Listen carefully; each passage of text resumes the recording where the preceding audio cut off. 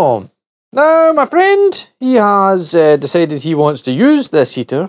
So I thought, well, we'll use this opportunity to take apart and look at the weird ECU that's in it. And I thought we would make it safe as well and maybe connect up the earth to actual the chassis of it. And then once we've done that, we'll go and have a look at the Webasto and how it's running and some of the code changes that I've made. So first things first, let's take this one apart. Hey, actually what's nice about this heater is I don't actually have to take the whole heater out to get it open because of the way that it's made in two halves. Nuts and bolts to come out. That's going to fall at the bottom, isn't it? That's a. That's the only thing though. Is that is a captive nut. Oh, well, captive. What's the opposite of captive? Uh, what is it captive when it's not captive? It's just a nut and a bolt, then, isn't it? Yeah. So that three nutty bolty things gets us uh, inside. And we should be able to just uh, manhandle it off the thing without taking all the ends off. Now, as somebody, a viewer pointed out, this probably, come off, isn't aluminium. This is probably zinc or magnesium because it's cheaper. And is sir, can you use acid to test if it's one or the other? Anyway, we don't have acid, so we won't be testing anything. But what we can do is, would this be better the other way around, so the fuel tank is not in my way? Yes. Let's spin it. Or is it just the fuel tank? Can we just move the fuel tank around a bit without having an Exxon Valdez uh, type spillage here? Yes. Right. Let's take the fuel tank, not fuel tank, uh, ECU out. Where are? There lost my... Oh, please don't be the one that's missing out the set. Hopefully not. Should be this one. Nice. Man, that's in there tight. Let's go into the brain box. So everything else about this here is fairly standard. Standard looking motor. There's nothing exciting really about it. It's the weird fact that it will run on 12 or 24 volts and it decides. Because everyone out there keeps saying, oh, my heater does the same thing. You just press the things in the menu and tell it if it's 12 or 24 volts. Do it. I dare you. I, I dare you to go and buy a 12 volt heater, set the ECU to 24 volts, and plug it into 24 volts. Come back, tell me what happens. And conversely, if you do it the other way though, if you buy a 24 volt heater, tell it it's 12 it just doesn't work either. It doesn't. It doesn't run. So, wow, that was the loosest glow plug connection I've ever seen. It just pinged right off. That's great. Right, that comes off. Fan motor, and then the ECU is just a plug down here. So, let us unplug the plug. And I will bring it over so you can look at it. Ah. Ooh, this one says Super version 5.2. Okay, here is the back of the ECU. We'll call it ECU. The back of the ECU. We'll call this the back. A uh, couple of large capacitors there. What voltage rating are they? Can we see them? 63 volts on the capacitors. Big. Uh, that is that? I know it's a toroidal shape, but is it a? Ooh, I know. Let's take this off the board and have a look at the other side of it. Oh wait, there are numbers. Can I can I read out the said numbers? Uh, this is an M MDD MBR three zero one zero zero CT. It's marked twenty seven amps, and the other one I cannot see because it's deep inside. Perhaps it's two of them. Hopefully, someone is watching someone who's very excited and knows what all of those bits are, I'm going to need that screw later. And we'll be able to tell us exactly how this is doing the 12, 24 volt magic switching between those two voltages and knowing about them. Because it's all very well people saying, like, oh, my heater does the same thing, you just tell it's 12 or 24. But this one you don't tell. You give it 12 or 24, and it shows you in display that it's 12 or 24, and it just it runs. It runs quite happily. It doesn't seem to care what voltage. If I can manage to untuck the uh, fan speed sensor from behind this little bit of plastic here without bending it too badly. Come on now. Come on. Here we go. Right. We've unfangled it. So here is the other side of the board. Let me try and get this mostly in. Can't do the right shots there. Does that make sense? I'm going to leave that there for a second, let people get perhaps a screen grab.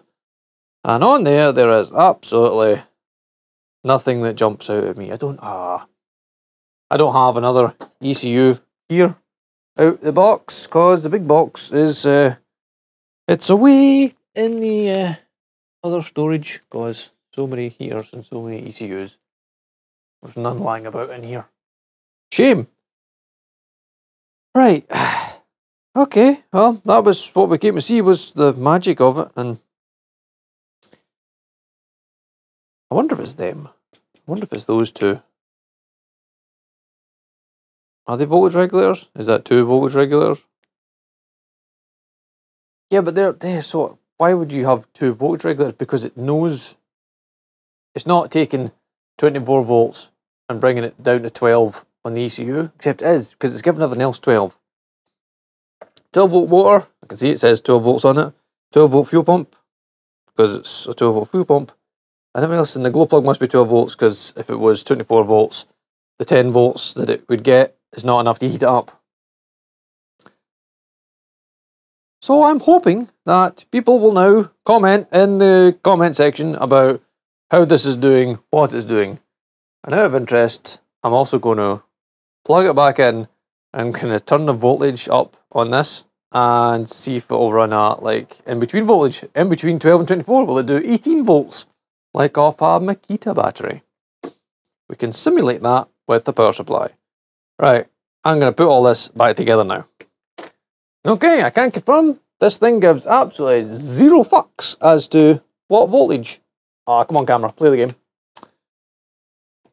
Here we are, 17.2 volts. Okay, granted it says 18 on the power supply. 18 the power supply, but 17.2 at this end. Yeah, it, it just doesn't, it absolutely does not care what voltage you give it.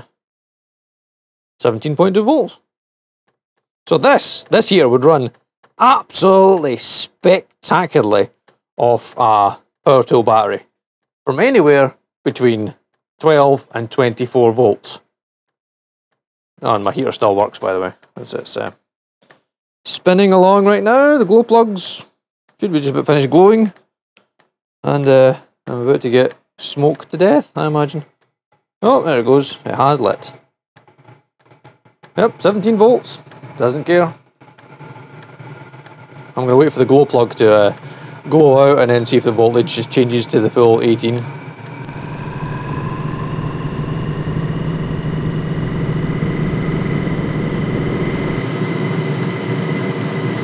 There we go. Glow plug went out and it kind of briefly went up to the full 18 volts, but it brought it back down to 17.7 again. Meh.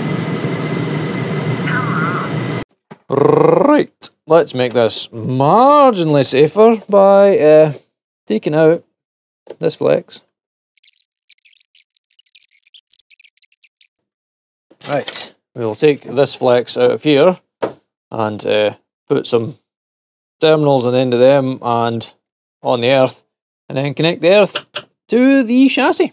Okay, we've got the live uh, power, mains power, sorry, coming in here. We've got, now got three actual terminals, screw it of the, you know, the Y-shaped ones that go under the prongs. The prongs go under the screws. They all screw down, so we've got live, neutral, and earth. Let's do a test. Beep, beep, beep, beep. Beep, beep, beep, beep, beep, beep. Great. Uh, so, like, uh, live. Neutral even. Neutral. Live. Live and earth to earth bin. Also earth to case. Earth to case. Earth to heater. Yes, but not to there two Not to those ones. Ideal. Right, good. So we've got everything just now. I don't think they'll be, no, they should be isolated. All right, everything is metal, it's connected to earth the way it should be. That feels a lot safer. Now I shall button it back up and then we shall go and move on to the Webasto. Let's go. Right, please forgive me. The Webasto has been relegated over to the other bench where we have the big water tank full of, well, not full, it's got 15 litres of water in it. The Webasto, he's there. Uh, onto my second board. So if you recall, let me zoom you in. So last time I run it, ran it, run it, ran it, I had a problem with the uh, MOSFET driving the glow plug, which is this little um, charred boy here with the plastic and the melted bits, which is that one. It uh, got so hot that it melted itself off of the board, and I did try to repair the board and put another one on, but I don't know if I must have damaged the track or soldered like two tracks together at the same time. But what I ended up with was a constantly on glow plug. Now, very thank you very much to other David who suggested using one of these. This is a hotbed controller for a 3D printer. So basically, 12 volt straight power comes in one side. You connect your glow plug or your hotbed off to the other side, and then you just use the two trigger wires connected to where your output used to be. So basically, when the MOSFET on here drives the glow plug, it's not driving the glow plug, it just drives the output into this other board, which has got a massive 30 amp MOSFET on it, and then it drives the voltage to the glow plug. So now, no more melting MOSFETs. And should we melt this one, we just take this board off, throw it away, put another board on. But I've started up and shut it down a couple of times now, and this board, it just gets warm. There's no actual any uh, real heat coming off it, unlike that one, which got red hot. So I don't know what I've done to the other board, but I think it's for the bin. Thankfully, they are cheap. Now, let me reconnect uh, some power here. I think it was just this one. Did I just, was it just this one? Okay. It's alive!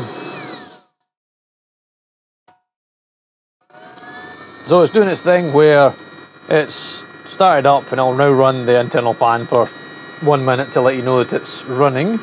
Now if I fire up OBS and we will fire up the serial monitor, board is not available, yeah, because it's not plugged in. Let's try that again. Right, so there it is, currently doing nothing. Water temperature and exhaust temperature are the same. Now let's uh, connect up the trigger wire, triggering here. Trigger wire, glow's got to one. Hopefully you can see on there the red light that shows the output driver is driving. Dun dun dun dun dun dun dun dun dun dun dun dun. And then we will get firing up. Hopefully the exhaust temperature will now go up the way. There it goes. So the exhaust is burning.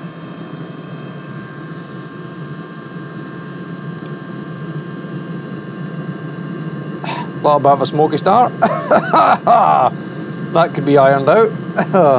I might have gone a bit rich with the uh, initial fueling. But what I'm trying to do now is get the output of the heater as hot as I can.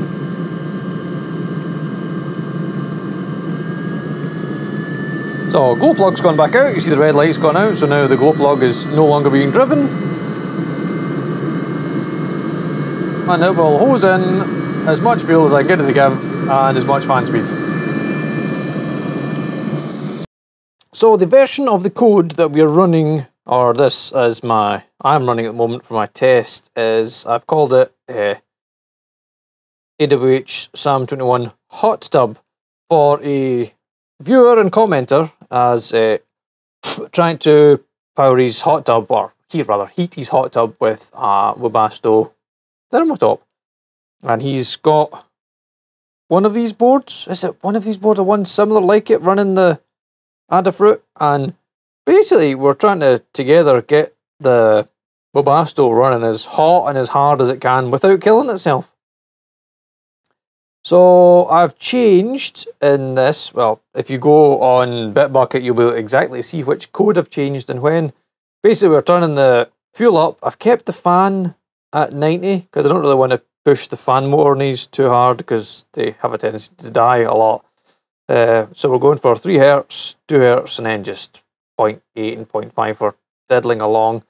Now, the other bit that you have to change, uh, I have to try and remember where it is, is the one where it's the exhaust temperature that it uses. Uh, I can't remember, does it get Vasto temp? One of them. There's a temperature somewhere for the exhaust temperature, and it's set rather conservatively low. Uh, Wow, if only I had like access to Bitbucket just now, I could just go and look at Bitbucket. Hold on, let me just uh, do that right now. Uh, heater. Do, do, do, do, do, and we want the hot tub. Oh look, I did it yesterday. Right, show me my commits. Uh, where is That one? Do, do, do, do, do. Oh, it must be a running ratio. Is that it? Yes. So in running ratio, INO, uh, I changed the exhaust temperature. Uh, it might not have been at 300. It might have been even less than 300 before I've modified it. It's now bumped up to 350. And in Webasto, I just took the very the over over the over temperature exhaust mode. I took it up to 450. So if it gets to 450, things have gone catastrophically wrong and just kill the heater. But before it does that, it should get to 350 and then throttle back. So that was the two I modified: Webasto and running ratio. And yeah, so Bitbucket and SourceTree. Uh, SourceTree is like the PC version, and it keeps all your code synchronized with the stuff that's stored on the internet. So when you make changes or I make changes, it should download it for you and then you can apply it. Right, back to what we're saying. So let's say, uh, yeah, those things turned up. Webasto, it's way down here. Uh, exhaust temperatures down in the middle somewhere. Near the bottom? Oh, I can't remember. It's definitely in here somewhere. There's an if and Therefore, oh, it's in here somewhere. Man, it took me ages to find it last time. And I've shown you where it is. You'll just have to think about in the code by yourself, not through here. Increase the fueling, increase the fan, made it burn hotter and better, hopefully. And, well, we've seen on the board now. And the mod only modification I've made to the board so far is to add in that other controller module that takes the heat off the MOSFET for the glow plug. Right, the footage you're seeing just now is from the InfiRay uh, module thing that sticks at the bottom of a smart uh, phone that they sent us. Uh, just Android smartphones at the moment because it's just a USB. But I got them to send one with the clip-on macro lens so you can get right in at component level on the boards and see which of your components are running hot or running hotter than the rest. Yeah, I think in this we can see there's like a diode that's running hotter than the rest and uh, the fan, is it the fan? No, it's the water pump MOSFET is running slightly warm. I could probably do with a little bit of cooling, but we'll do a proper in-depth uh, review test on the InfiRay uh, P P10 P something or other Pro thing, uh, the thermal camera that plugs into the bottom of your phone. We'll do a full review comparison of that in the future. We're just playing with it on this board just now. Right, I think that wraps it up for today. We were just gonna, we've done the thing where we've put the heater into safer mode with the earth connections and proper spade connections, made sure that's safe for my friend. We've had a look at the Webasto and the code. We've done all those things. Any comments, questions, etc., etc., leave them down below and we'll I'll answer them or we'll cover them in a future video because that seems to be a thing that happens now. As always, thanks for watching. Thank you.